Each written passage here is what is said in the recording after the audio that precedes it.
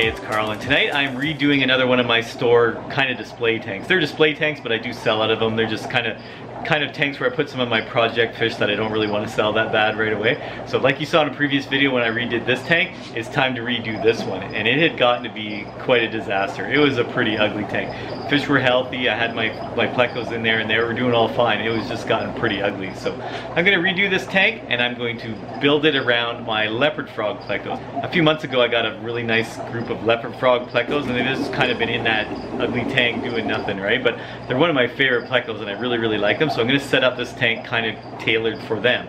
So right now I have seven of these little guys and I really, really love these plecos. They don't get real huge, lots of color, all their customer favorite. Everyone sees them, they really, really love them. So I'm hoping to grow out a few, maybe get a breeding colony or a breeding trio or something going on. I know I'm not gonna be able to keep all seven in that tank forever, but uh, I'm gonna get them set up in there and just see how they do. So I wanna build this tank all around them. So I'm not likely going to do a lot of planted plants. I do want to have some plants in it. I suppose it can be rock and wood. I have a couple little pleco caves I'm going to try and build into the, the hardscape so they're not too obvious, but I give them a nice little cave. I'm sure they'll find other little nooks and crannies to swim around in. And then I'm going to plant it with mostly epiphyte plants, plants that don't need to be rooted because I think they're just going to dig up anything I really put in the soil. I might try a few just to see how it goes, but I suspect they're just going to dig it up. And so I'm going to stick with the bigger epiphytes, Anubias, Java ferns, Bolbitis, things like that that are pretty tough and rugged, can handle some abuse, but that don't have to be rooted in the sand because I just don't think they'll stay there very long. So I'm just to go ahead and get the sand in there. Again, I'm to go with a single layer of sand. I'm not to do any underneath uh, like fertilizing substrates or anything like that. I am going to use the Seachem Flourite, which I've never actually used before, but the Flourite black sand. So it should be good to put some nutrients in the water for the plants but again, if these plecos start digging and rooting around in the sand, they're not going to dig up the bottom layers and make it look all ugly. It'll just be a single layer of sand, and if they move it around, I don't care. They, they can move it around all they want. It's not going to mess it up. So I'm going to get that sand in there now, and then we'll start to build it from there. So that Flourite sand's a lot lighter than I thought. While I was putting it in there, it's just it's really, really light, like a volcanic kind of stone. So it's not as heavy as a lot of normal sand. So I think these fish are gonna move it around quite a bit. But I've got it all down in place now, and now I'm gonna start with some hardscape. And I've got some Seiryu stone and some bogwood. The bogwood I've had soaking for a few days now, so or actually for a week now. So it's ready. It's already waterlogged and sinking pretty good.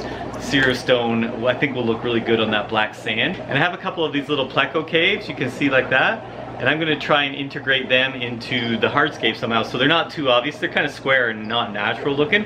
So I'm gonna try and incorporate them where I can see into them without them being super obvious because I just wanna I don't want them to really stand out. I want them to kind of blend in with the rest of the hardscape. But yeah, the color is good. I think it'll work pretty good to blend in there. So again, I'm gonna get this stone and wood kind of arranged. I'm just winging it. I have the pieces kind of picked out, but how they're gonna be arranged, I don't know. I'm gonna play around with it and then I'll show you what I come up with.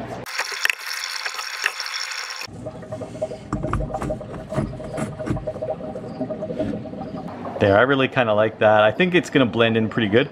You can see where the cave is in there, but I think by the time I put some plants in the side, maybe a few more little chunks of rock, it'll kind of blend in pretty good, and then I'll still be able to see in it, because I want to be able to see what's going on, see if there's eggs, see how the fish are doing, so I want to be able to look in it without it being too obvious, and I think that'll work. I really like how this rock kind of curves around the front of it a little bit, so from this angle, it's a lot less noticeable.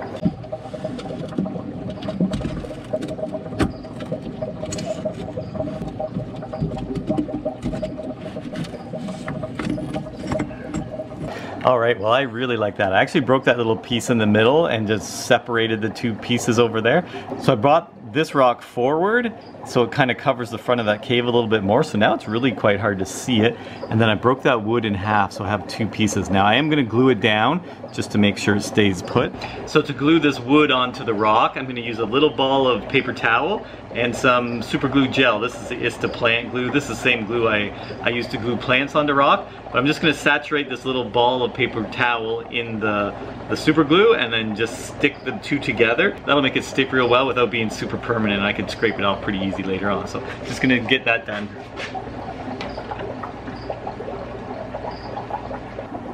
So yeah, I'm pretty happy with that. I'm gonna leave it there and I'm gonna start working on this corner here.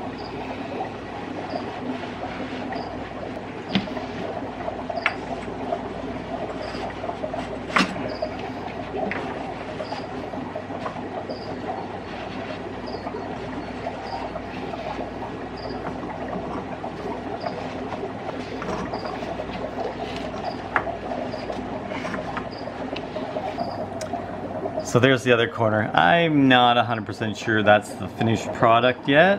I like this big archy rock here. I'm not sure what to do there and I'm not sure if plants are gonna be enough to hide it or not. I think I could probably stuff some plants in here up there. I think, I think I can make it work, but we'll go with that. I do have one piece of wood. I have a nice center piece of wood I'm gonna put in there now. And then I think we can probably fill it up and have a look at how that looks. I really like this piece of wood. This is a great piece of wood. Got just tons of character. I'm gonna get it right down in there. Put some sand on it. Now because this one's already waterlogged, I really don't need to do much to it. It should stay put. But it's gonna be great to stick some plants in all these little cracks and crevices. Be able to put lots of plants in there. There, well there's the hardscape. I'm loving this tank. This looks better than I imagined when I started. I had an idea what I wanted to do, but until you put it all together, you really don't know. And again, I, this is gonna look better once it's planted. But yeah, it's kind of got that Mordor spiky rock look. I really like that. This is great. So I'm gonna get the sand smoothed out and we'll get it filled up. Probably have to fill it a few times to get it nice and clear. We'll get the filter going and then I'm gonna plant it after the fact.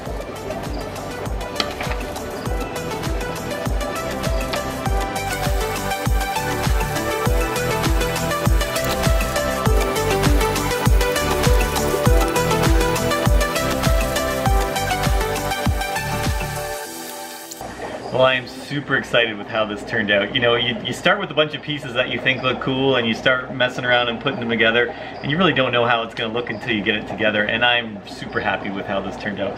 These pieces of rock, they just fit in perfect. It looks great with the wood. These pieces of wood, these roots are really, really awesome. They just have great character, great shape, Sauron, Mordor kind of. It's gonna get the filter now. I'm just gonna use the same filter that I took out. This is a Fluval U2 and uh, I just like these filters. They're nice. They sit inside. They don't take up a lot of space. I don't have to worry about things. With, with my setup, it's hard to access things from behind. So I want something I can get at right inside the tank. So these Fluval U internals, they work really, really great. So it's fully cycled already. I can just pop it back in, plug it in, and away we go, and I can have fish in there in no time. So, so I'm gonna get that in, get it on, get the heater running, get it warmed up, let it clear up for a little bit, and then we'll get the fish in their new home. So, all right, filter's running. There's some good current in there now. It's really moving the water around. And these fish really like current. They come from river systems. They like moving water. And it, now it's not crazy current, but I think it'll give the plants nice movement, make them feel comfortable and at home. This is a Fluval M series heater. I really like these heaters. They're pretty accurate. They're not super expensive, and uh, they do a good job of maintaining that temperature. And these plecos, they do like it pretty warm. Probably, you know, 26, 28, even 30 degrees, which is what, 78 to 84, 86 maybe Fahrenheit, so pretty warm anyways. They like the warm, and you want something that's gonna be accurate and maintain it. And these fish aren't cheap, so you want something that's gonna be a good quality heater that'll last and, and be super accurate. So these heaters have been a workhorse for me over the years, and I'm gonna stick with them. So. All right, well it's been running for 24 hours now. You can see it's cleared up quite a bit. It's crystal clear now, so it's looking really good. Temperature's up where we need it, so I'm gonna get planted. So I'll just show you the plants now I got to pick from. And I'm gonna go with, again, mostly epiphytes because I think they're gonna root around in the sand and dig stuff up. So I cleaned up some plants. I've got some regular Java fern. Um, this is the, the narrow leaf and this is regular Java fern. Um, Bolbitis. I'm excited for this one. I really like this plant. a little bit darker green, really fun texture in the leaves. Good shape to it. I think those are gonna be good. So this is Blixa japonica, and I wasn't going to put anything in the sand itself. These are rooting plants, where the others are the epiphytes that don't have to root. But these guys, you, I will have to root them. The, the tissue culture was going bad, so you can see some of those dark leaves and stuff. So I cleaned them up the best I can, and so I'm going to try them. If they get wrecked, they get wrecked. No biggie.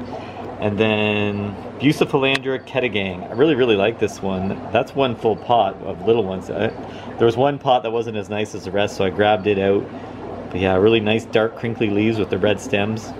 It's probably that's my favorite Bucephalandra for sure. So I'm gonna give that a try. Got just the place for that.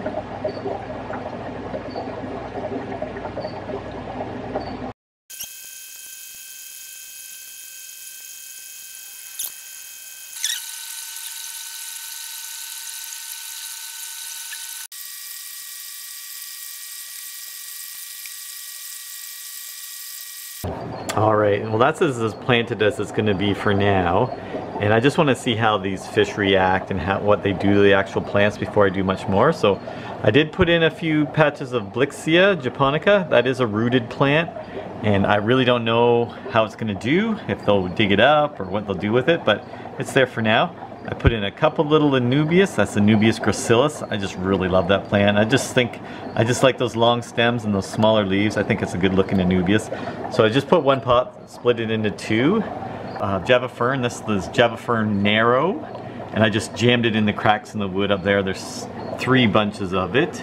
A little bit of Bucephalandra kedagang.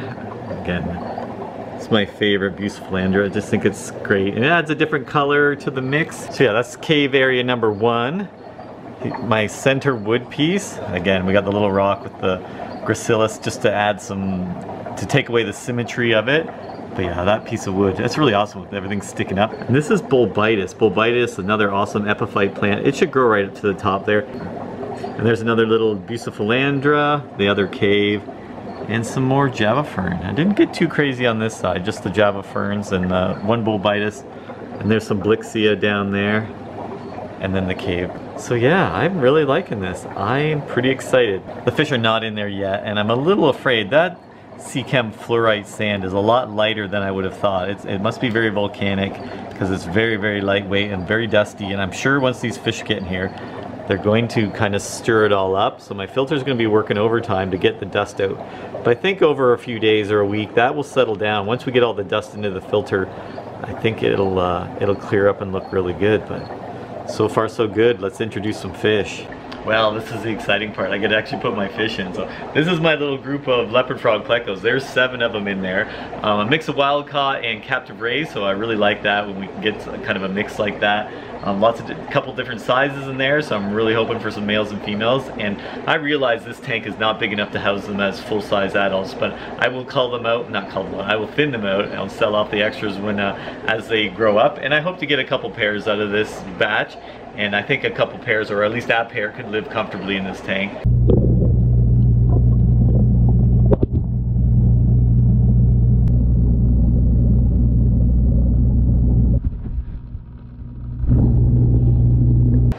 Well, these guys are looking awesome in the tank. I'm loving this tank. I think it looks so good. These plecos, they stand out so nice on that black sand and those dark rocks. This, their striping and the contrast is just awesome. They look great really happy with the plants. I think they're gonna fill in quite nicely. They've got some growing to do obviously, but I think they're gonna fill in quite nicely. So yeah, really, really like this tank. So I'll definitely do an update, maybe six or eight weeks down the road. I'll give you an update to just see how the fish are doing, how the tank's looking, how the plants are growing, if they've destroyed the tank, if they're stirring up all the dust all the time. We'll, we'll see what happens. Like it's an experiment for me too, so I will definitely update you on that, see how it's doing. Pretty sure it's gonna be okay. I think it might get dusty for a week or two and then it'll clear up and it'll be fine. So I'm just gonna end it with some B-roll of the tank and the fish, get you some details of the tank. Really hope you enjoyed this build video. I hope you'll subscribe and I hope I'll see you in the next one.